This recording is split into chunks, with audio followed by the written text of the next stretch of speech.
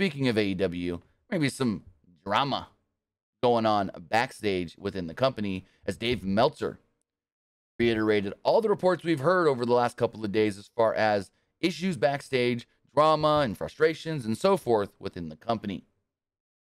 So on Wednesday, we had seen CM Punk call out Hangman Page and nothing come of it. Then we learned that was a shoot, brother. CM Punk went into business for himself.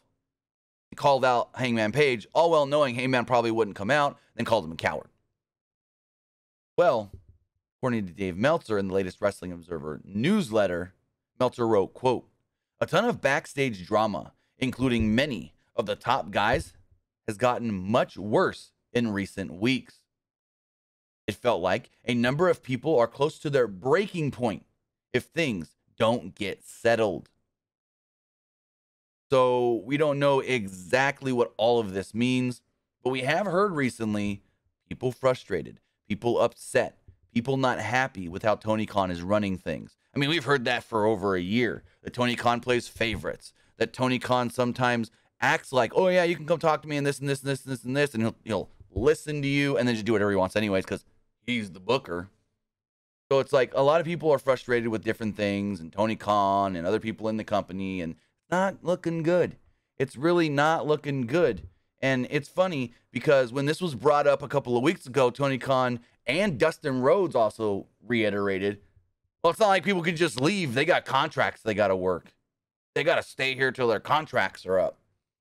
So it's like, you're going to hold people hostage? Now, maybe that's me going a little too far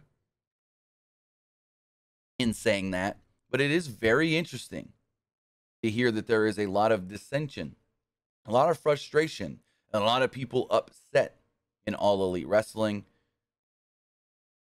Going to hold on. I think I might have another quote here as well. Let's um open this really fast. Why is that not wanting to load? Here we go. So um, here we go. We got more from the Meltzer quote. Um, this says, "There's a part of me. This is Meltzer writing. There's a part of me where I just think Tony needs to sit everyone down and air everything out before it gets worse. The big thing that started all this, that Colt Cabana is not in Dark Order with no angle and stopped being brought to television. He was going to be cut, but Khan resigned him for ROH.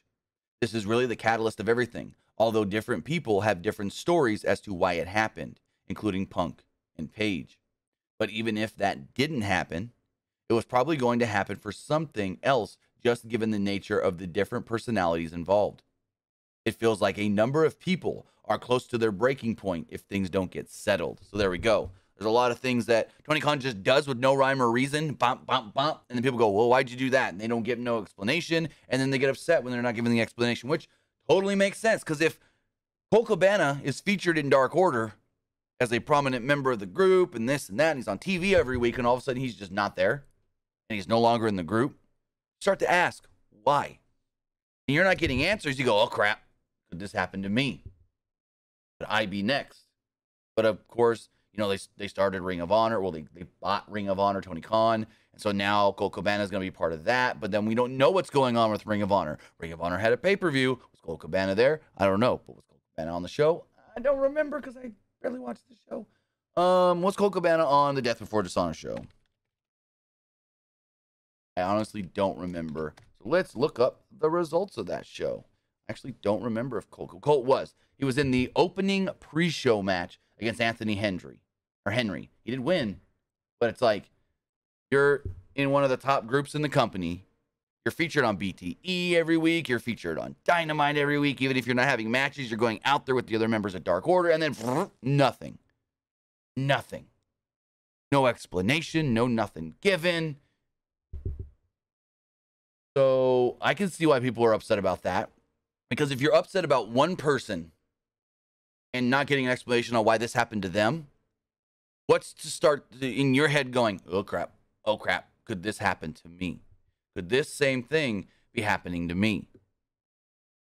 As far as frustration does go within the company, we know that, well, it seems like Varsity Blondes may be a little frustrated. This past week, they took on the Gunn Club in a match that lasted literally 45 seconds. As soon as the match was over and they were able to get to the back, Griff Garrison sent out a tweet just said, frustrated.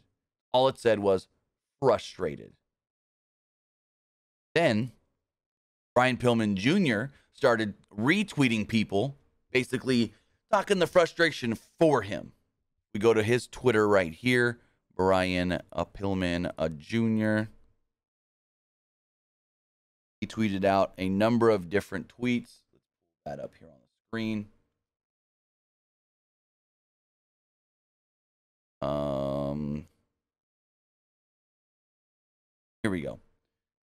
So there's one here. It says, Flying Brian, you should have pushed for an angle with Dustin Rhodes, just like your dad had back in the day. That could have given you, that could give you a nice boost. There's another one.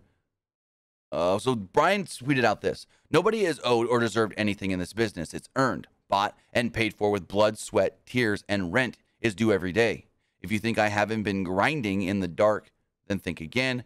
I will become the biggest star in professional wrestling. And other people, you know, retweeted on that. Don't stop. Don't sleep on Brian Pillman Jr. But some of the tweets yesterday was like, I feel like the loose cannon needs to be released. Unstoppable, you will be. Keep it up, brother. Another one is I kind of feel heel persona at Flair's last match.